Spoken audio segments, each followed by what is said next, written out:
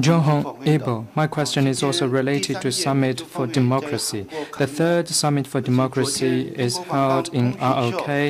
China's official media outlet condemned ROK. What's your comment?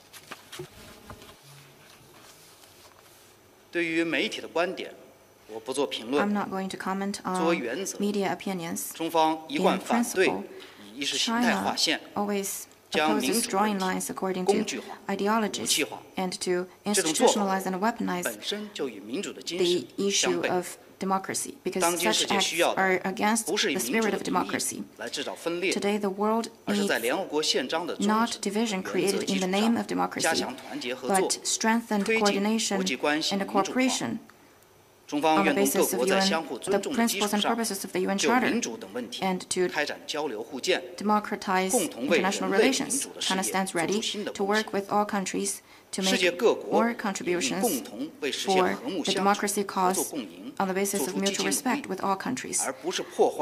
Countries in the world should make positive efforts for win-win cooperation instead of undermining the solidarity of international community. Next question.